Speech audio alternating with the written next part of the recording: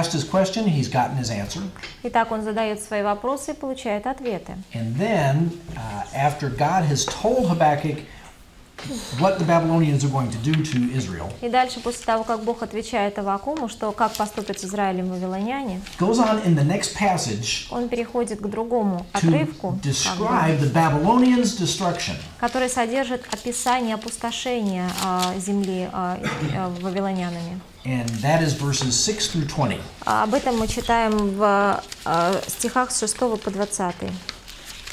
А, «Но не все ли они будут произносить о нем притчу и насмешливую песнь? Горе тому, кто без меры обогащает себя не своим, надолго ли, и обременяет себя залогами. Не восстанут ли внезапно те, которые...» Just through verse 8. Sorry. Just one verse eight. 6 through, ver- Окей. 6 through 8. «Которые будут терзать тебя, и не поднимутся ли против тебя грабители, и ты достанешься им на расхищение. Так как ты ограбил многие народы, то и тебя ограбят все остальные народы за пролитие крови человеческой, за разорение страны, города и всех живущих в нем». Now, a little bit of historical background to what Habakkuk is describing. А немного истории. Давайте рассмотрим исторический фон вот этих событий, которые описывает Авакум. In these verses, you will notice there are five specific judgments against Babylon. А в этих стихах мы читаем о пяти конкретных судах над Вавилоном. All of these judgments begin with the, the word woe to you. А все эти а, суды... Wow, really? Uh, verse uh, 6 Woe to him who increases. What is his? The Ага, ага. И все эти суды начинаются одним и тем же словом – горе. Например, в шестом стихе «Горе тому, кто без меры обогащает». And at the end of uh, um, Babylon's history, oh, excuse me, at the end of this story, А в конце вот этой истории uh, it predicts the ultimate destruction of Babylon herself. а, звучит предсказание о, о разрушении самого Вавилона, That actually happened in 539 BC которое произошло а, в 539 году до Рождества Христова by the uh, country of the Medes, the, the kingdom of the Medes. а, медянами. От руки медян пал Вавилон. And as we will see in just a moment, И буквально через минуту мы с вами увидим, it was the Medes and the Babylonians who Что именно? destroyed Nineveh. что именно медийцы и вавилоняне разрушили а, Ниневию, And then a short 47 years after that, а, а потом, через 47 лет, uh, no, not 47, af- uh, years after that, а, ну, какой-то период времени, может быть, не 47 лет, но Medes turned on the Babylonians. а, медийцы восстали против вавилонян и э, разрушили Вавилон.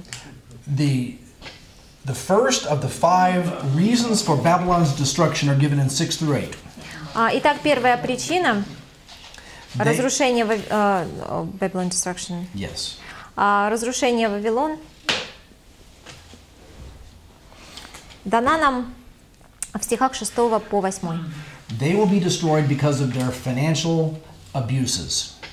А, Горе тому, кто без меры обогащает себя не своим. То есть они будут э, разрушены, истреблены за то, что они захватывают чужое. They have looted other nations and taken advantage of them financially. Они захватывали другие народы и забирали у них, э, грабили их, забирали у них имущество. We know that from the end of verse 6.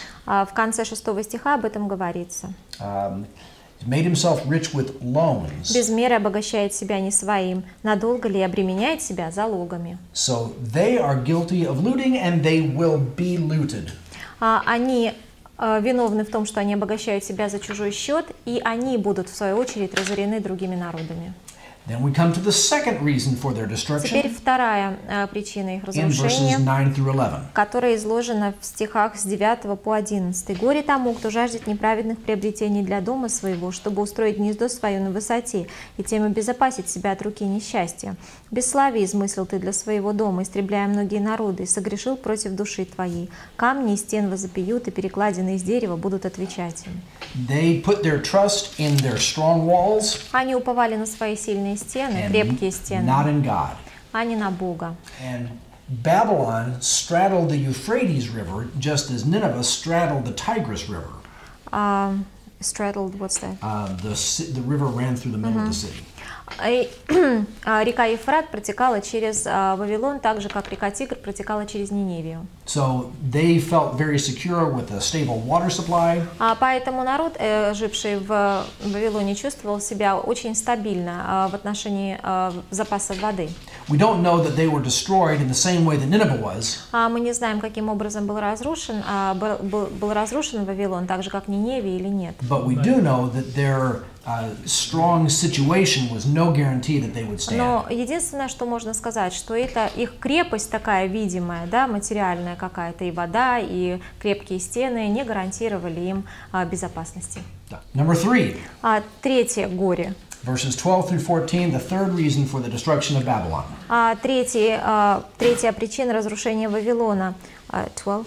12 Горе с- to 14. а, с 12-14 стихи. «Горе строящему город на крови и созидающему крепости неправдою. Вот не от Господа ли Саваофа это, что народы трудятся для огня, и племена мучат себя напрасно.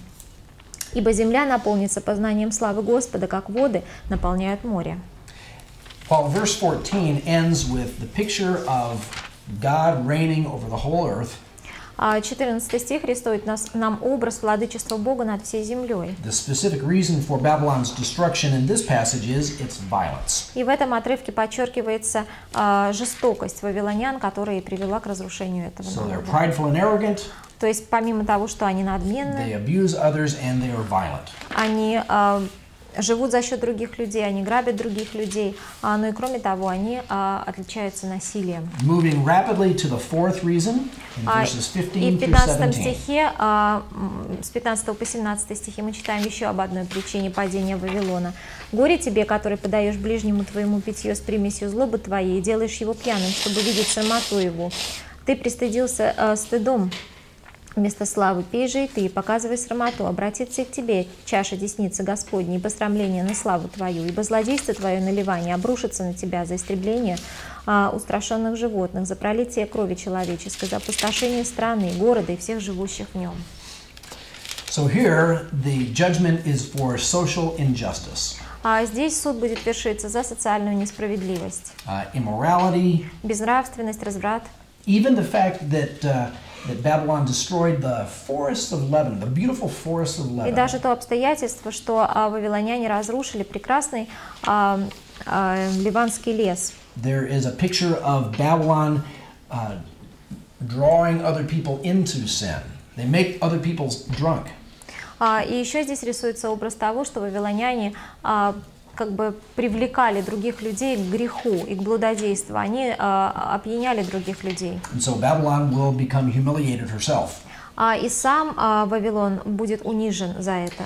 In Revelation chapter 17, А в there is, 17 главе книги Откровений there is a picture of the Babylon yet to come. а, рисуется образ нового Вавилона. And Babylon is always in Scripture viewed as the anti God system. А Вавилон в Писании всегда рассматривается как а, богопротивная система. В 17, 17 главе книги Откровений she is uh, an economic force а Вавилон э, представляет собой экономическую uh, силу. called the Great Harlot. So А, называется. Великая блудница, подчеркивается разврат. And uh, whereas here's the difference between Babylon and Nineveh. И вот смотрите, в чем состояла разница между Вавилоном и Ниневией. When Nineveh was destroyed, it was completely obliterated, А когда э, Ниневия была уничтожена, была абсолютно разграблена. never to be inhabited again. А была уничтожена до основания, до последнего камня, и больше уже так и не поднялась. Not so with Babylon. А с Вавилоном все иначе. Uh, the empire was destroyed, Империя была разрушена, but Babylon was repopulated а, но Вавилон потом снова населили люди. with the same character. Люди с, тем же, с теми же качествами, А, с тем же характером, а, с той же э, развратностью. Babylon И когда Александр а, later, Великий спустя несколько веков пришел в Вавилон, он был изумлен тем развратом и той безнравственностью, которая царила в Вавилоне. Большое дело начинается с малого пожертвования. И пятью хлебами можно накормить пять тысяч человек. Поддержите наш проект молитвой и финансами. Информацию, о чем молиться и как пожертвовать, вы можете найти на сайте tvseminary.com. Итак, пятая причина uh, they are also guilty of idolatry, verses 18 through 20. А, Actually, 18 and изложено, 19. а, изложено в 18 и 19 стихах Бабило- Вавилона меняется в вину также идолопоклонства. Что за польза от истукана, сделанного художником, этого а, летавого лжеучителя? Хотя воятель, делая немые кумиры, полагается на свое произведение. Горе тому, кто говорит дереву «встань» и бессловесному камню «пробудись». Научит ли он чему-нибудь? Вот он обложен золотом и серебром, но нем нет. So here, God again uh, is sarcastic. И здесь опять же используется сарказм. Бог говорит с сарказмом. Он высмеивает всякого, кто а, прибегает за помощью к кумирам, а поклоняется идолам, сделанным руками человеческими.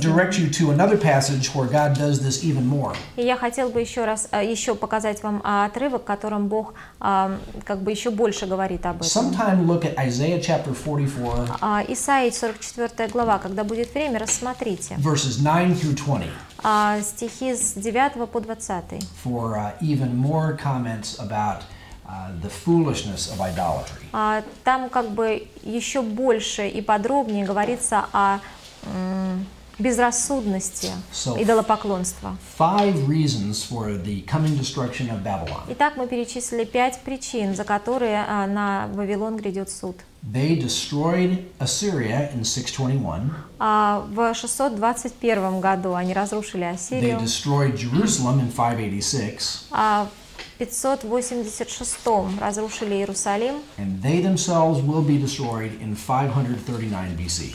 А и в 539 году до Рождества Христова они сами будут разрушены и разграблены.